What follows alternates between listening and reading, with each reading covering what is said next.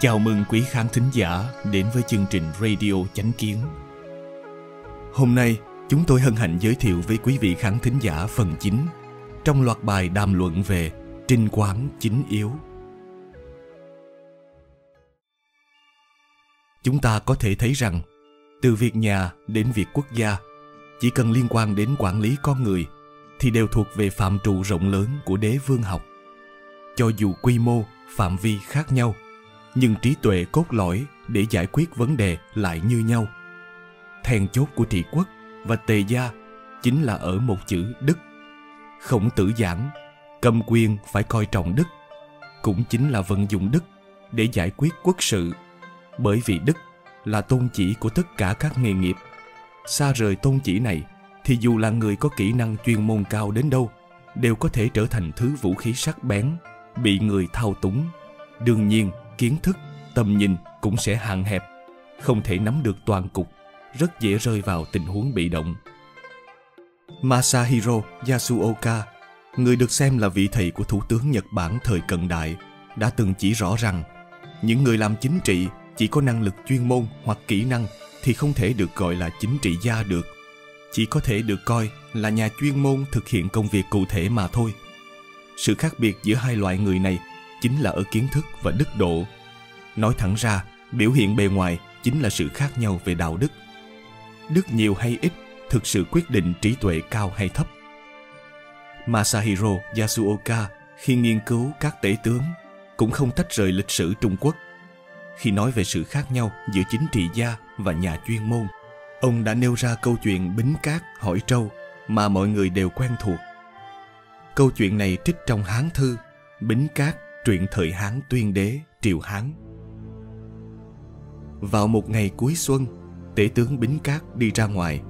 Gặp người đi đường đánh lộn nhau, thấy có người chết nằm bên đường, nhưng bính cát lại không hỏi han gì mà cho xe đi qua người hầu cảm thấy rất kỳ lạ. Không ngờ một lúc sau, thấy một con trâu tập tỉnh, thở hồng hộc, được một lão nông dắt qua. Bính cát lại vô cùng ngạc nhiên như gặp kẻ địch. Lập tức bảo người hầu dừng xe, hỏi ông lão nguyên do tại sao. Thuộc hạ cảm thấy rất khó hiểu, bèn hỏi bính cát vì sao lại coi trọng súc vật mà lãnh đạm với con người như thế. Bính cát trả lời, người đi đường ẩu đả đã có quan địa phương như kinh triệu doãn giải quyết rồi. Ta chỉ cần lúc nào tiện thì tra lại. Có công thì thưởng, có tội thì phạt. Như thế là được rồi. Tể tướng là chức quan cao cấp trong triều. Việc hệ trọng mà ta cần quan tâm là những việc đại sự quốc gia, chứ không phải là những việc ẩu đả nhỏ này. Nhưng việc hỏi trâu lại khác. Nếu là mùa xuân, thời tiết vẫn không nóng quá con trâu đó lại thở gấp vì nóng như vậy chứng tỏ thời tiết hiện tại không được bình thường lắm. Việc đồng án tất sẽ vì thế mà bị ảnh hưởng. Cho nên, ta qua thăm hỏi về con trâu. Masahiro yasuoka cho rằng đây mới là chính trị gia chân chính, không bị hãm vào những sự việc cụ thể mà biết suy xét vấn đề một cách toàn cục. Cách nói của ông có chỗ đúng, nhưng vẫn chưa chạm đến căn bản. Đọc câu chuyện này, chúng ta thấy bính cát không phải không quan tâm đến tính mạng con người. Ngược lại, đây mới là cách làm của một vị tể tướng thực sự yêu dân. Trong tâm ông, rất rõ ràng rằng, nơi xảy ra sự việc ẩu đả, tất nhiên sẽ có quan lại và bộ phận quản lý trật tự của địa phương đến giải quyết. Ông chỉ cần giám sát chính tích về đức hạnh của các quan. Ông chỉ cần có mắt nhìn người, tuyển chọn người hiện tài có năng lực gánh vác là được. Đương nhiên, người có tội, người tắc trách thì phải bị trừng phạt, cảnh cáo hoặc cách chức. Nếu làm tốt những việc này, thì những quan chức hiền đức sẽ có thể giải quyết tốt những việc ẩu đả này. Từ đó, có thể căn bản chăm sóc tốt cho người dân toàn quốc. Quan lại các nơi đức hạnh kém mới thực sự khiến người dân gặp nguy khốn. Một mình tể tướng dù có bao nhiêu sức lực, có thương xót người dân bao nhiêu đi nữa, cũng không thể đích thân đến từng nơi trên toàn quốc để giải quyết những sự việc này. Cho nên, có mắt nhìn người, lựa chọn người tài đức cho vua, mới là việc lấy đức trị quốc của tể tướng, mới khởi được tác dụng căn bản của tể tướng, mới có thể thực sự giúp người dân được hưởng lợi. Còn ý nghĩa của việc bính cát thấy trâu thở dốc, không phải ông quan tâm đến con trâu, mà là quan tâm đến con người. Ông lo rằng thời tiết không bình thường sẽ ảnh hưởng đến việc trồng trọt cấy hái điều này liên quan đến sinh kế của cả quốc gia, là việc lớn liên quan đến sự tồn vong của người dân.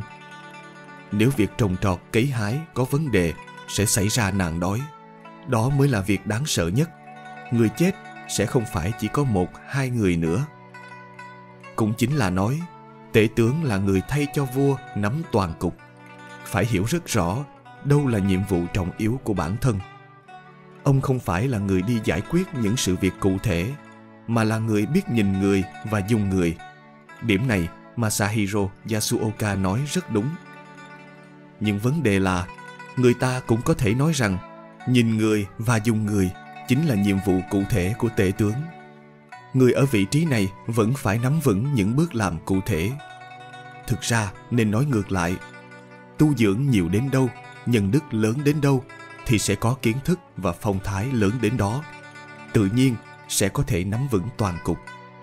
Nếu bản thân không có đức thì sẽ không thể công chính vô tư. Lòng dạ tự nhiên sẽ hẹp hòi, sẽ thích nghe lời hay. Nhãn quan tự nhiên sẽ thấp, kiến thức tự nhiên sẽ hạn hẹp. Nhìn người cũng sẽ không chuẩn xác, thì sẽ càng không thể nắm vững toàn cục. Vậy tể tướng, nên nhìn người và dùng người như thế nào? Đâu là tiêu chuẩn? Câu trả lời rất đơn giản đó chính là lấy đức làm tôn chỉ tiên quyết. Sau đó mới là tài năng. Nếu không, thiên hạ tất sẽ đài loạn. Địa vị thậm chí là tính mạng của chính tể tướng cũng khó mà giữ được. Tể tướng nắm quyền tuyển chọn quan lại, có thể nói là dưới một người mà trên vạn người. Rất nhiều lúc vận mệnh quốc gia nằm trong tay tể tướng. Tể tướng nếu kéo bè kết cánh, không yêu thương dân, chỉ nghĩ đến việc duy trì quyền lực của mình thì không thể toàn tâm nghĩ cách chăm lo tốt cho người dân. Như vậy những quan lại mà ông tuyển chọn sẽ là những kẻ su nịnh, chỉ biết làm vừa lòng ông, tần bốc ông, bảo vệ ông. Dùng quyền lực để mưu cầu lợi ích cá nhân sẽ dẫn đến chính trị hủ bại, áp bức bách tính. Ngược lại, bản thân tể tướng cũng sẽ bị người khác lợi dụng và điều khiển. Khổng tử nói Sáu ngôn lệnh sắc tiền hỷ nhân nghĩa là, lời nói khéo léo, sắc mặt cười lấy lòng thì hiếm khi nhân đức. Những người nịnh nọt, tân bốc này đều chỉ vì tư lợi cho bản thân, không thực tâm đối đãi với người khác. Cuối cùng, chẳng qua chỉ là lợi dụng lẫn nhau. Tể tướng nếu vô đức, quan lại bên dưới tất nhiên sẽ vô đức. Bản thân cũng không thể thoát khỏi kết cục bị người khác lợi dụng và phản bội. Một người có nhân đức, nói có đạo lý tất nhiên sẽ đứng ở vị trí của bản thân mà suy nghĩ làm sao cầm quyền phải coi trọng đức. Làm tể tướng khi giải quyết chính sự, phải lấy đức làm trung tâm. Cho nên, bính cát với vai trò là tể tướng, thay mặt vua tuyển chọn người hiện tài giám sát quan lại, cũng phải lấy đức làm trung tâm, dùng tiêu chuẩn đạo đức để đánh giá chính tích của quan lại. Từ đó tuyển chọn người tài. Việc ông làm bản chất chính là công việc chính sự chủ yếu của đế vương, và cũng là nội dung chủ yếu của đế vương học. Như vậy thì nhãn quan nhìn người của đế vương khi lựa chọn tể tướng lại trở nên rất quan trọng. Nếu nhìn nhận sai thì sẽ bị gian thần làm hại, bị gian thần lợi dụng và điều khiển. Tần cối chính là một ví dụ mà mọi người đều biết rõ. Ông ta đã bán nước, hại chết nhạc phi làm cho cha con tống huy tông chịu nhục cùng cực, bị nước kim giam cầm mà không thể quay về cố quốc. Tống huy tông có thể coi là vị hoàng đế phải chịu nhục nhã nhất trong lịch sử vì dụng nhân sai lầm. Câu chuyện này thực chất để nói rõ hai điểm. Thứ nhất là chính trị gia ở vị trí khác nhau sẽ có những nhiệm vụ chủ yếu khác nhau, không thể đánh đồng với nhau. Đây cũng là một cách hiểu cụ thể của câu bất tài kỳ vị, bất mưu kỳ chính. Nghĩa là, không ở vị trí ấy thì không bàn luận mưu tính việc ấy. Thứ hai, chính là điều quan trọng nhất. Dù ở vị trí nào, giải quyết nhiệm vụ nào, cũng đều phải lấy đức làm trung tâm. Ngược lại, sự việc sẽ càng thêm rối loạn. Ví dụ, tể tướng nếu chỉ biết làm việc chính sự mà lại vô đức, tuyển chọn những người ý quyền mưu, tư lợi, tham ô trái pháp luật như vậy quốc gia tất sẽ loạn, nhân tâm tất sẽ bại hoại, quan lại địa phương tất sẽ nổi loạn. Đến lúc đó, địa vị của tể tướng cũng không ổn định, những chuyện đánh nhau sức đầu, mẻ tráng cũng theo nhau xuất hiện, tể tướng tất sẽ không yên thân. Những bài học như thế trong lịch sử có rất nhiều. Vì thế, người ở vị trí đó tất phải biết lấy đức trị quốc. Nếu không như thế thì sẽ không có tư cách để ngồi ở vị trí đó. Cho dù có ngồi ở vị trí đó cũng không ổn định, không tại vị được lâu dài.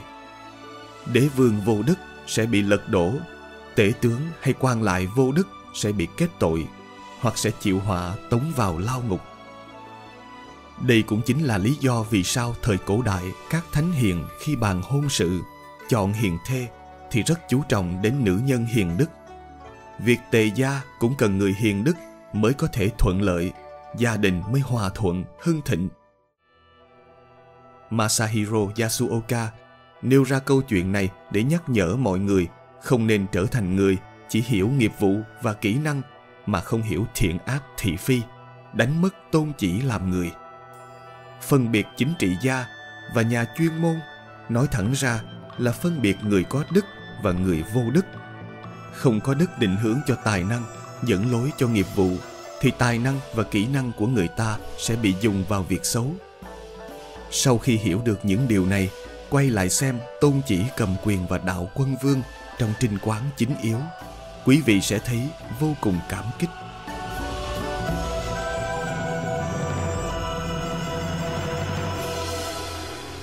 Cảm ơn quý vị đã lắng nghe, quan tâm và đăng ký kênh Radio Chánh Kiến.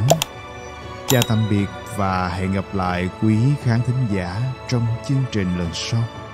Kính chúc mọi điều bình an và tốt lành đến quý vị và người thân.